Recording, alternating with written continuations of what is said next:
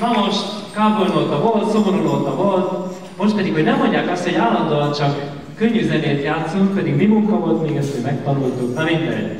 Szóval most játszunk egy kicsit komolyabb zenét. Robert Schumann egyik zseniális darabját hangszerette meg, és alakítottuk ki közösen.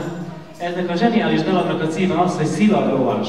Lovas, az előző, a legelső dalban is volt ló, mindegy, lóból soha nem elég. Tehát hallgassák meg Robert Schumann, magyarul showman, angolul pedig Sherman. Bocsánat. Magyarul Sherman, angolul Schumann, és afgánul pedig Schumann. Én mondom angolosan is, hogy Schumann. Tehát a szilaj lovas hallja.